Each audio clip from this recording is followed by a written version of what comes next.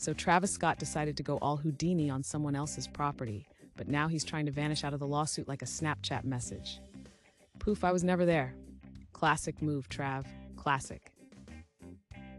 Imagine breaking into a house and then being like, wait, who me? No way. Next level hide and seek.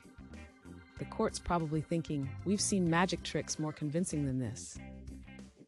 This might be the most dramatic game of Monopoly ever. Travis, ding dong. Do not pass go. Do not collect $200. Go directly to court. Just when you thought property disputes couldn't get spicier. Hey, Judge, can't we just Astroworld our way out of this? Maybe Travis is hoping for a mosh pit in the courtroom. Order, order. Nope, more like beat drops and bass drops.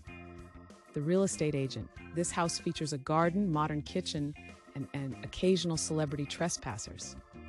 That's got to add at least, what, 50K to the property value. What's next? Travis revealing he was filming a Where's Waldo special in the backyard? I swear, Your Honor, I was just trying to blend in with the gnomes. Anyone bringing popcorn to this show? Quick poll, guys. Should Travis stick to music and concerts? Or does breaking and entering have a certain je ne sais quoi charm to it? Might need your legal advice here. Like and subscribe, please.